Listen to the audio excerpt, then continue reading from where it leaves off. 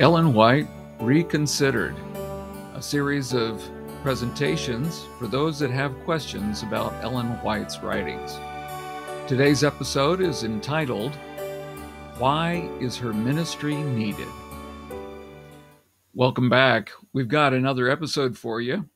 But before we do, I want to ask a serious question. And this is one that people have been asking Why do I need the ministry of Ellen White? Maybe you feel like this fellow. I've made up my mind about Ellen White. I don't think she was a true prophet. Your presentation about false expectations about how she wrote doesn't impress me. And I don't care that she did not technically deny using sources or that she described using sources in the Great Controversy. I still don't need somebody telling me how to live my life.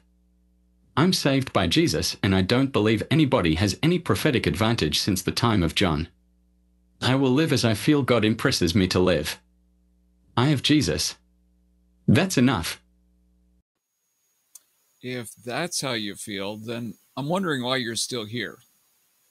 Shouldn't you be doing something else, like reading the Gospel of John or listening to some Christian music? I'm not holding you here. You can go.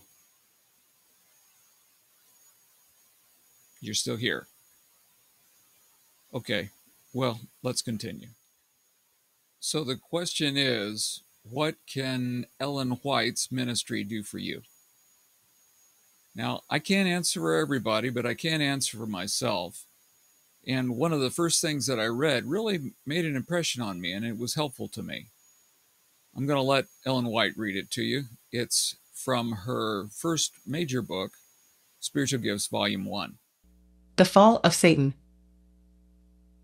The Lord has shown me that Satan was once an honored angel in heaven, next to Jesus Christ. His countenance was mild, expressive of happiness like the other angels. His forehead was high and broad, and showed great intelligence. His form was perfect. He had a noble, majestic bearing. And I saw that when God said to his Son, Let us make man in our image, Satan was jealous of Jesus. He wished to be consulted concerning the formation of man. He was filled with envy, jealousy, and hatred.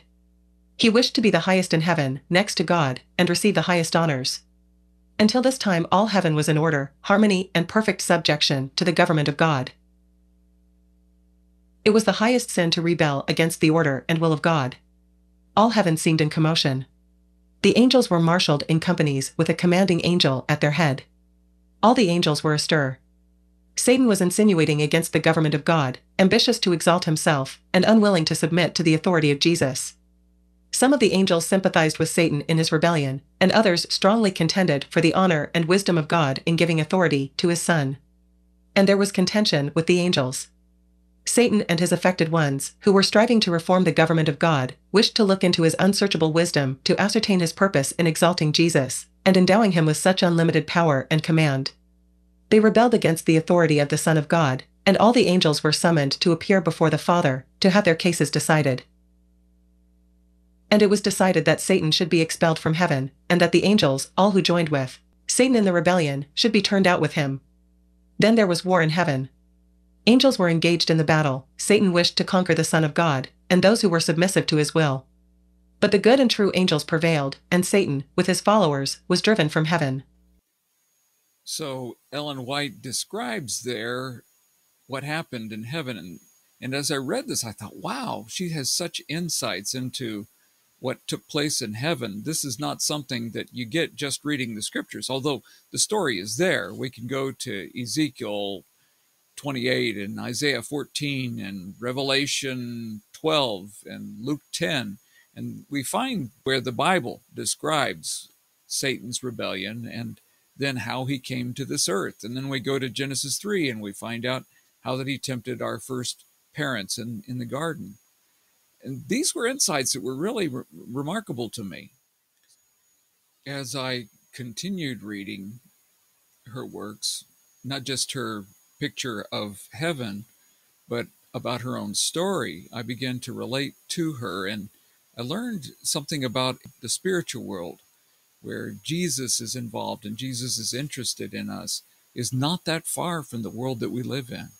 How that he would come and and work in the life of this young lady who was frail, sickly and timid, but God was working in in her life, and that that was an important thing for me. I began I, I understood that that God was also working in my life, so that was a valuable thing that I learned. The spiritual principles and the spiritual truths that I learned from reading her writings were something that prepared me for this life, helped me in this life, but also uh, steered me for the life to come. And it helped me to raise healthy children. And for my own life, I was able to get away from some of the health problems that were in my family, my parents and my grandparents. My grandfather, for example, was a smoker, and it took a toll on his life in his last years. They were not very pleasant.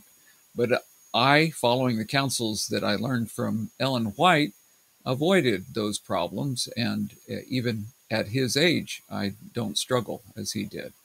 Then there was my grandmother on my mother's side. Here she is holding me uh, as I was a baby. Um, she had heart problems and uh, ended up going to the doctor and had to use nitroglycerin pills to try to deal with ischemia.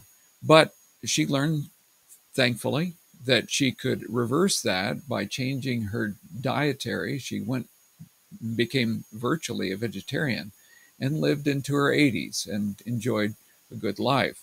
On my father's side, uh, here's my grandfather, and he was quite tall. He was a shrimper, and and uh, the folks of Pecan Island and Abbeville, Louisiana, used a lot of foods that uh, I never used. And my grandmother, uh, here putting her hand around my shoulder, she had heart troubles for a long time in her life. My dad was an alcoholic, although he never missed work because of it.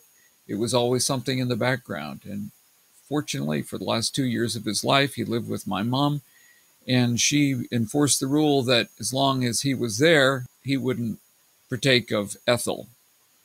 And he had a fairly good life, even though he had uh, dementia in his latter years. So these are some things that I was able to avoid and uh, to pass on to my children.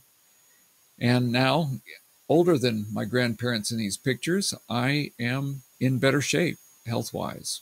Don't have the heart troubles and the uh, lung problems or the brain problems that my dad had. Also, the weekly Sabbath rest that I get, which was also something that Ellen White and other early Adventists recommended, brings uh, rhythm to my life and uh, balance and rest and focus. We would have been astonished a few decades ago if somebody told us that one day we would carry in our pocket or our pocketbook a combination camera, telephone, link to the entire world and all of the posted knowledge of the world. But now that we have these devices, it's kind of hard to do without them. There, it's hard to imagine what life would be without them. We didn't know we needed it until we got it. And that's that's kind of the way it is for me with Ellen White. I might not have known that I needed the encouragement for a weekly cycle and for my health and to understand how sin and the problems that came into this world originated in heaven and, and were transplanted to this earth. I, I wouldn't have known how that it's going to turn up, how it's going to end. All of these things were just things that I might not have even known that I needed. I've told you in our introductory video about how much this book meant to me, The Desire of Ages, as I began to read it, and the richness that I discovered on the life of Christ. There's so much in this book that adds to the, the richness of Jesus' life. Now, this is not the only book that's er, that was ever written on the life of Christ and many books that were written on the life of Christ, but none applies it in the spiritual way that this one does. It was written after the style of Hanna's life of Christ. In fact, Ellen White used its the, the chapters of Hannah as storyline guides in in writing out the chapters. But there's a different focus. Even though there's some similarity to it and to Night Scenes in the Bible of March and some of the others, it has a, a different focus. If you look at the subtitle for this, it's in a series that's called The Conflict of the Ages. And the title, subtitle for this, you can see that there, tells you that it's the conflict of the ages illustrated in the life of Christ. This great conflict that began in heaven is, is portrayed in very vivid way here. Over and over again, you can see these instances where Satan is is described behind the scenes, and uh, sometimes stepping out of the shadows, like the temptation, and at the cross, how he was bringing darkness upon Jesus as he was suffering there and giving his life for us. And the, the beauty of, of those stories are just so very powerful. Well, in our next episode, we're going to spend some time in how she wrote The Desire of Ages. How was this book composed? Uh, I think it'll be instructive and it'll also be inspiring to you. As I have studied this book in different ways over the years, I read it as a student in college, and uh, it was a supplementary book for a, a study of the life of Christ. I have studied it as a pastor when I was wanting to prepare lessons on the life of Christ as I would read the gospel accounts just by themselves, and then I would read her book to see if there was any additional insights. And sometimes she would call attention to something that I hadn't seen before.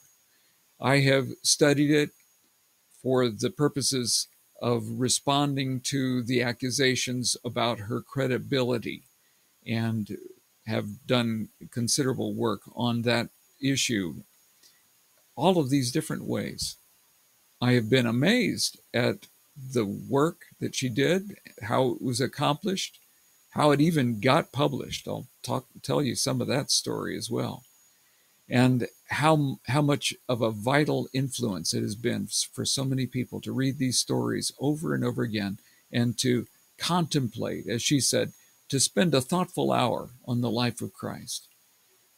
As each of those scenes becomes more vivid to us and we appreciate Jesus. There is such a richness in the desire of ages. And there's also a lot of insights and uh, reflective thoughts that Ellen White brings from the casket, as the introduction says, in the book Patriarchs and Prophets, which was written before Desire of Ages, and then The Great Controversy, which even preceded that. That book as well gives us courage and hope for the future as the end of the great controversy is described when sin and sinners will be no more and harmony and love will reign over the entire expanse of God's created world, and all will revel in the knowledge that God is love. There are practical things. I talked with a lady this past summer about this book, Messages to Young People, and how that as she grew up, she didn't have the structure in her life. Her life was chaotic and her family was somewhat dysfunctional. But this book that was taken from different counsels, different letters she wrote to young people and, and to parents, it gave her some structure for her own life and made some sense of life and she was able to share that with her nieces and nephews, both practical and spiritual, so many ways that Ellen White's ministry has been a blessing in my life and the lives of many others. I'm so glad you joined us today, and I hope you are too. You have a great day.